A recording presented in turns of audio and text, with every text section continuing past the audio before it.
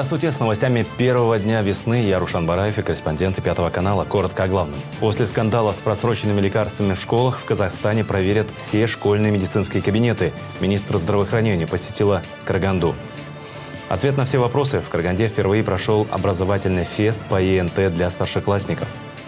Памяти Героя труда. В 47-й раз в шахтерской столице прошел республиканский турнир по легкой атлетике. После скандала с просроченными лекарствами в школах в Казахстане проверят все школьные медицинские кабинеты. Об этом рассказала министр здравоохранения Акмарал Аль-Назарова во время визита в Караганду. Ответила она и на другие вопросы журналистов. Карагандинские прокуроры проверили часть школ и выявили, что из 7 тысяч учеников этих школ 3 тысячи медпомощь не получали. А в медкабинетах нашли лекарства, у которых срок годности истек 5 и даже 7 лет назад. Сегодня не всегда э, мы успеваем э, вопросами контроля заниматься. И сегодня в целом после этого случая дано поручение, чтобы по всем э, организациям образования страны была проведена в целом проверка местными исполнительными органами и с участием Комитета медицинского фармацевтического контроля на территориях. Больше всего жалоб от населения сегодня выслушивают на недоступность медицинских услуг. Люди недовольны, что платят взносы, а к врачам бесплатно попасть не могут. Работающие на нескольких работах должны платить, соответственно, в разы больше. Есть понимание, что население переплачивает, заметила министр. За три года с ОСМС финансирование медицины увеличилось в два с половиной раза. Консультаций и диагностических услуг оказывают в 11 раз больше, реабилитационных в 7 раз, но при всем этом доступность снизилась. Смешение пакетов, а, это вопросы там, своевременного финансирования и так далее. Но здесь есть вопросы в целом к регламентации услуг, которые мы сегодня на уровне Минздрава должны выровнять. Здесь вопрос не только к фонду. Поэтому это такая обоюдная работа, и мы сегодня э, на эту работу настроены. Э, в целом уже соответствует, в принципе, в целости в целом концепция и видение новой системы ОСМС, после ее модернизации мы ее видим.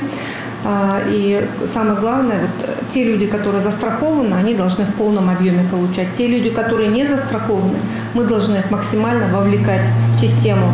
А та категория, которая вообще не может за себя платить, а, возможно, как глава государства сказал, за счет местных исполнительных органов покрывать расходы на страхование. Сегодня из 20 миллионов жителей страны за 11 миллионов страховку оплачивает государство. За себя платят 4,5 миллиона работающих. 3,5 миллиона на сегодня не застрахованы. Ну и напоследок, за 7 месяцев, прошедших после отравления 14 детей в специнтернате Караганды, следствие так и не нашло причину. Я согласна, что следствие затянулось. Э, результаты мы сегодня тоже э, не видим. Этим вопросом я тоже в первые же дни заступила на эту работу тоже поинтересовалась, э, потому что беспрецедентный как бы, да, такой был случай, и погибли дети, поэтому в целом вопрос у меня на контроле, но мы тоже как бы, в ожидании результатов. Напомним, в конце июля прошлого года неизвестным веществом получили отравление 14 подопечных социального учреждения для детей с тяжелыми психическими расстройствами. Один мальчик умер сразу, второй спустя месяц. Остальные длительно находились в реанимации, в том числе на аппарате искусственного дыхания. Среди версий отравления тяжелыми лекарственными препаратами. Людмила Батюшкина, Ирина Нинашева, Пятый канал.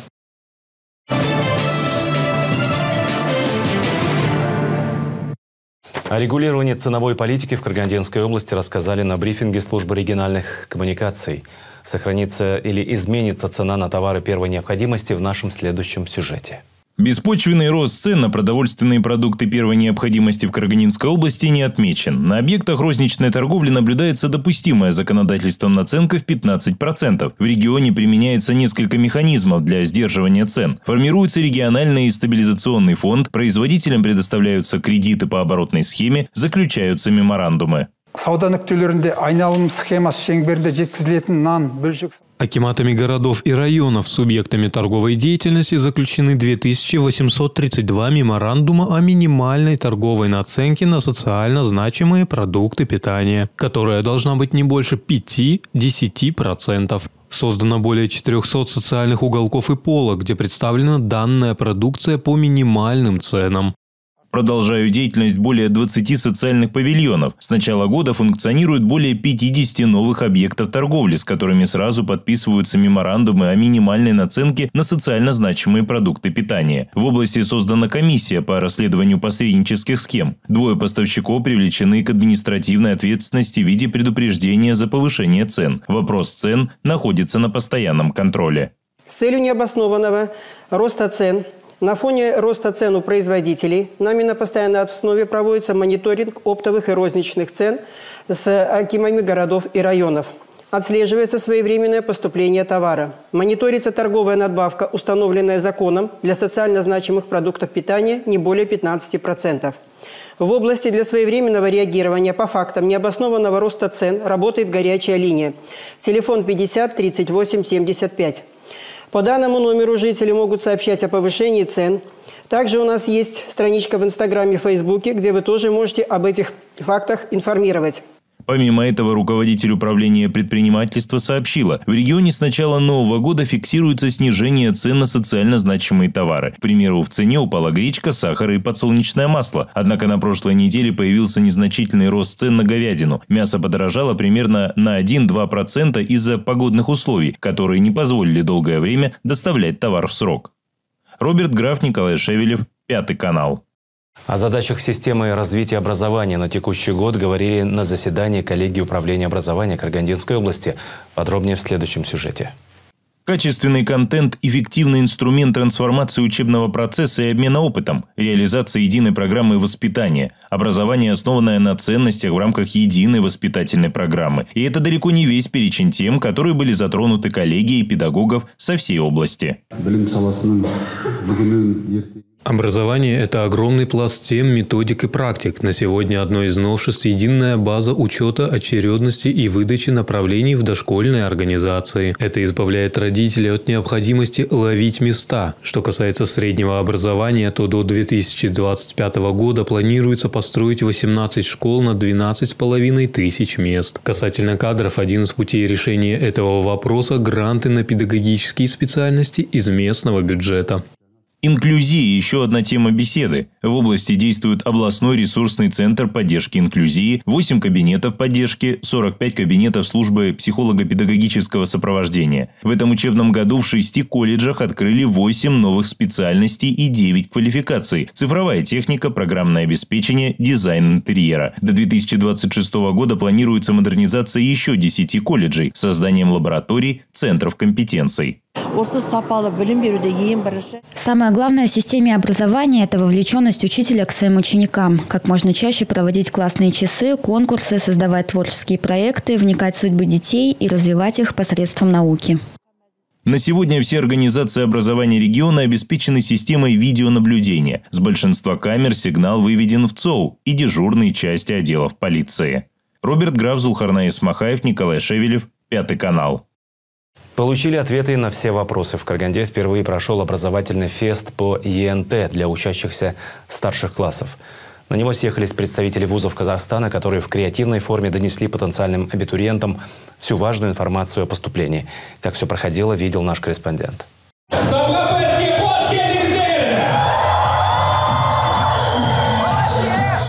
Впервые в Караганде проходил образовательный фест для тех, кому уже совсем скоро придется определяться, куда пойти учиться после школы. Все проходило в любимом для молодежи центре бокса имени Серика Сапиева. И тут не пришлось скучать. Информация потоком со сцены доходила в зал.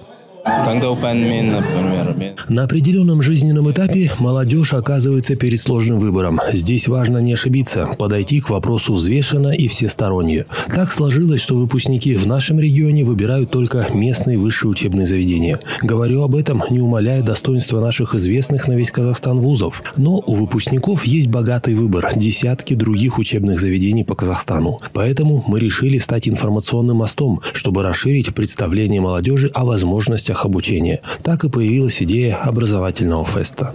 Образовательный центр по подготовке ЕНТ, СамГА, Академии и Облано провели первый фест по ЕНТ для 10-11 классов. Собрались все топовые университеты Казахстана для того, чтобы дать всем, кто сейчас стоит на пороге выбора, полную информацию о поступлении, пороговых баллах и специальностях и определиться с вузом.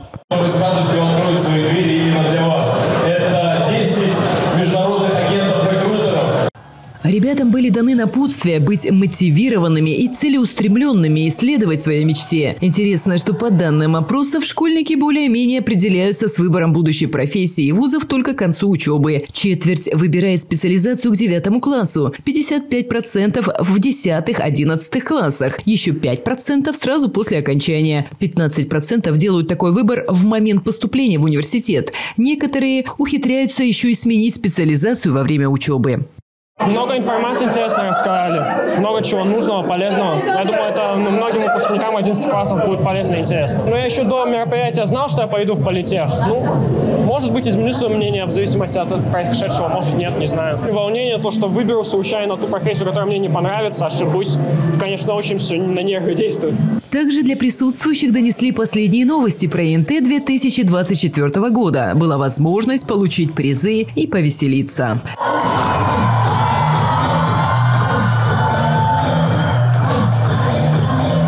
Ирина Вабищевич, Миржан Жумамуратов, Равиль Валеев, Пятый канал.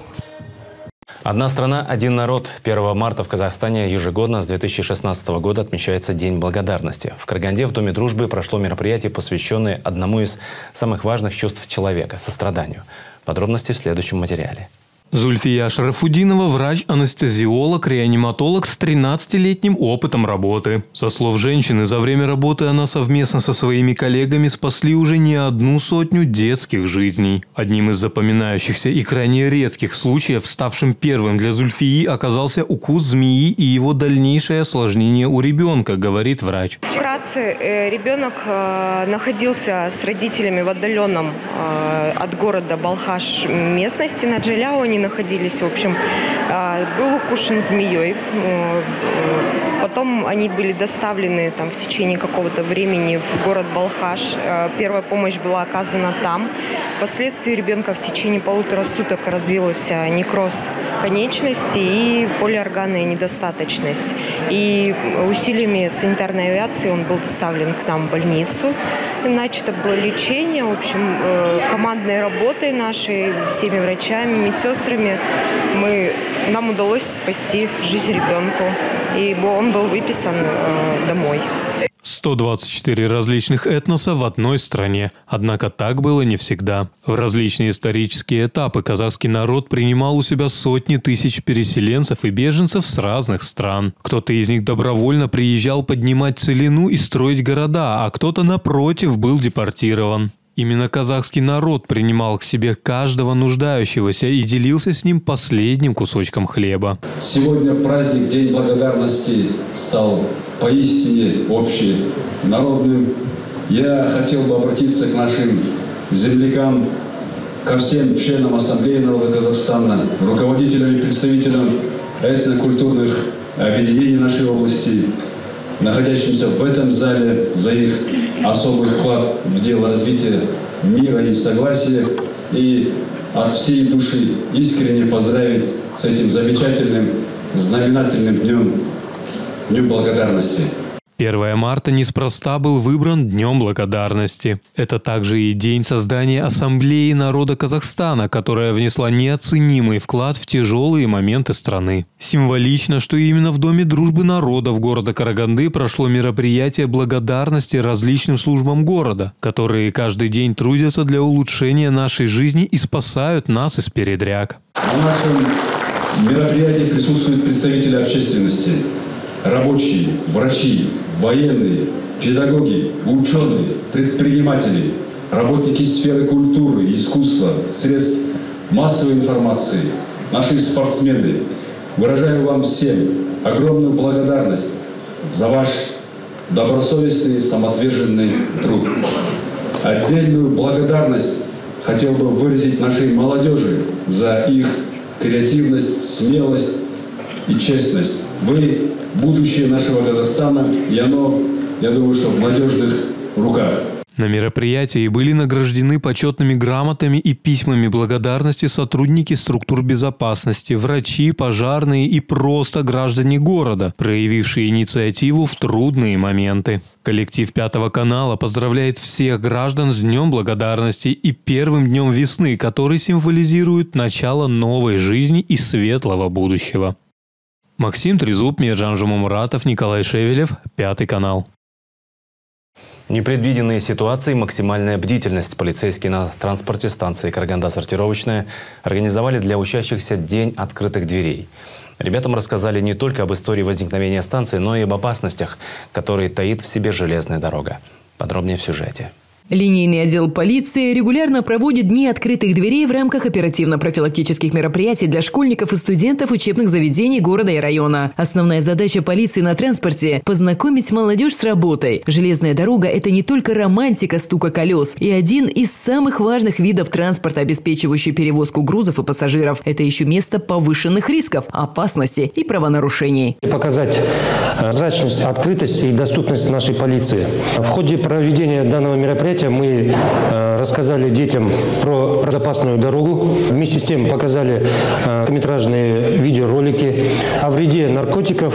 Непредвиденные ситуации, с которыми сталкиваются полицейские в своей повседневной работе, были разыграны перед учащимися. Полицейские продемонстрировали умение на скорость собирать и разбирать оружие, криминалистическую технику, вооружение и другие спецсредства, а также рассказали учащимся, как проводится осмотр места происшествия. Служебные собаки продемонстрировали ребятам свои навыки. Ежедневно четвероногие друзья помогают полицейским предотвращать и раскрывать преступления, охраняют покой граждан, патрулируя вокзал вокзалы и поезда вместе с сотрудниками Центра кинологической службы. Когда нам показывали автоматы, мне очень понравилось. И про собак, собак и щеек очень было круто.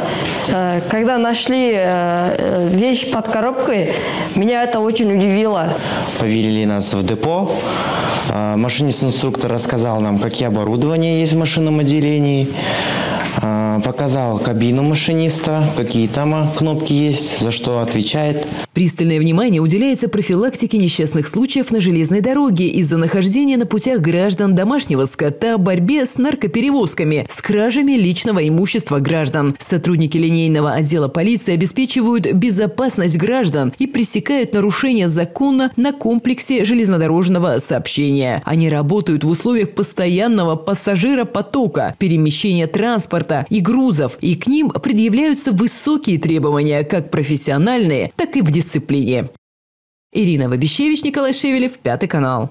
Инновационные технологии на службе гражданской обороны. В первый день весны вся мировая общественность отмечает Всемирный день гражданской обороны, который был учрежден в 1990 году Международной организацией гражданской обороны. Этой дате приурочен тематический месячник в Караганде. Подробнее в сюжете. Вам вынесли человека на сушу. А, перед тем, как а, оказывать помощь, В общеобразовательной школе имени академика Букетова прошло мероприятие учения по гражданской обороне. Ребятам наглядно показали, как действовать в чрезвычайных ситуациях. Республика Казахстан является полноправным членом Международной организации гражданской обороны с момента подписания в 1997 году закона Республики Казахстан о присоединении Республики Казахстан к Уставу Международной организации гражданской обороны и активно принимает участие в осуществлении основных направлений деятельности этой авторитетной международной организации. Всемирный день гражданской обороны 1 марта каждый год проходит под новым девизом. С 1 марта у нас начинается месячник гражданской обороны. Э, в данное время у нас в школе наши сотрудники э, проводят занятия и разъясняют э, действия при чрезвычайных ситуациях, задачи, основные задачи гражданской обороны. Основными задачами гражданской обороны является защита населения территории. И вот так и будем продолжать в течение месяца. В этом году Всемирный день гражданской обороны будет проходить под девизом «Инновационные технологии на службе гражданской обороны», а это наличие и применение современных способов защиты населения, территории, материальных и культурных ценностей, использование новейших технологий защиты и спасения, наличие системы подготовки высокопрофессиональных компетентных кадров. Ярко-красного цвета Какая кровь? Это которая из артерий, венозная, правильно. В ходе проведения месячника в учебных заведениях, организациях и учреждениях будут проводиться тематические линейки, классные часы, выставки, наглядные агитации и спортивные эстафеты, викторины, интерактивные уроки, интернет-конференции, семинары и челленджи. Как вы должны его привести в чувство? Можно ли его сразу понимать? Совместно с волонтерскими организациями Управление по чрезвычайным ситуациям города Караганды организует проведение флешмобов и разъяснительную работу путем раздачи памяток, брошюр по правилам безопасного поведения при возникновении чрезвычайных ситуаций природного и техногенного характера и навыкам оказания первой помощи пострадавшим при чрезвычайных ситуациях. По итогам месячника среди школ и детских дошкольных учреждений будет определен лучший объект образования в области гражданской обороны. Ирина Вапищевич, Мирджан Жумамуратов, Данил Заславский, Пятый канал.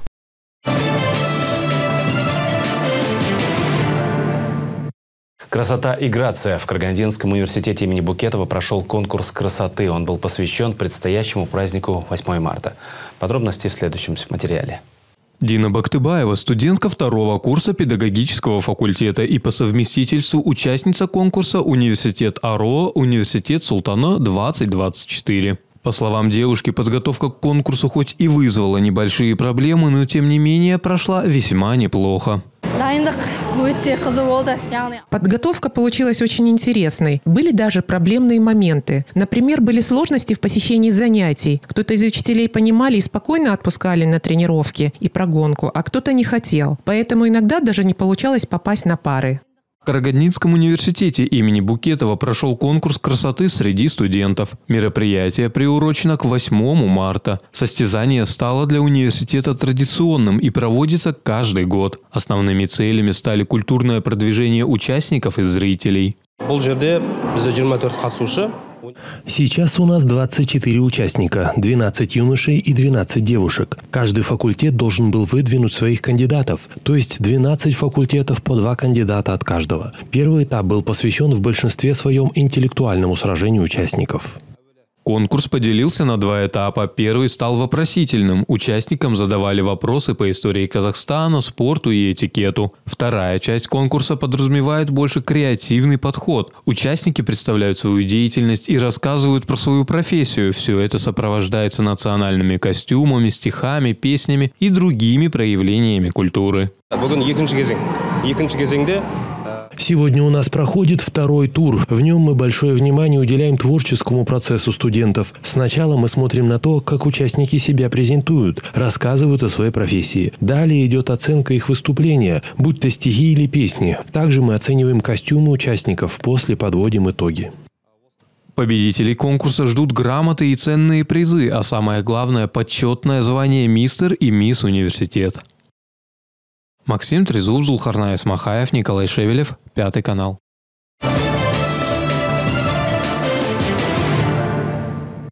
Сорок седьмой раз в шахтерской столице прошел республиканский турнир по легкой атлетике памяти легендарного шахтера Яуды Мусагалеева. С участниками соревнований пообщалась наша съемочная группа.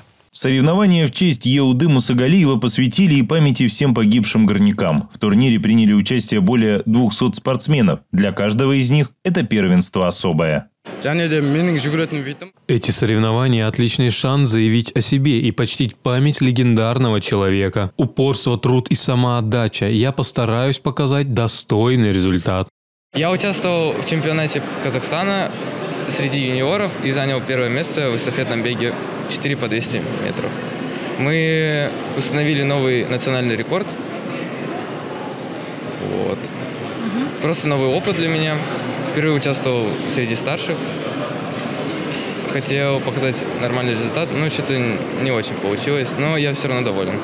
Первое первенство в честь легендарного караганинского горняка прошло еще в 1976 году и в итоге стало традиционным. В этот раз между собой состязаются около 200 молодых спортсменов из разных регионов Казахстана и городов Карагандинской области. Все время мы, для того, чтобы было очень интересно, мы э, благодаря э, профсоюзной организации, профсоюзная организация у нас э, Карагани, Карагандинский отраслевой профсоюз работников э, просвещения у нас, э, у нас Карагандинский областной филиал отраслевого профсоюза работников системы здравоохранения СИНом. Э, потом, да, также хотел поблагодарить именно профсоюза Центр Карагандинской области под председательством Жумабекова Булата Камзиновича для оказания спонсорской помощи для проведения данного соревнования. Соревнования прошли в легкоатлетическом манеже. Здесь первый день состязаний соревновались по прыжкам в высоту и длину, в беге на разные дистанции, толкании ядра и эстафетном беге. Во второй день выбрали лучше как в забегах на разных дистанциях, так и в тройных прыжках. Каждый участник первенства имел право выступать в двух видах программы и эстафетном беге, а за установление высших достижений рекордов получали денежное вознаграждение. В целом же победители были отмечены медалями и дипломами.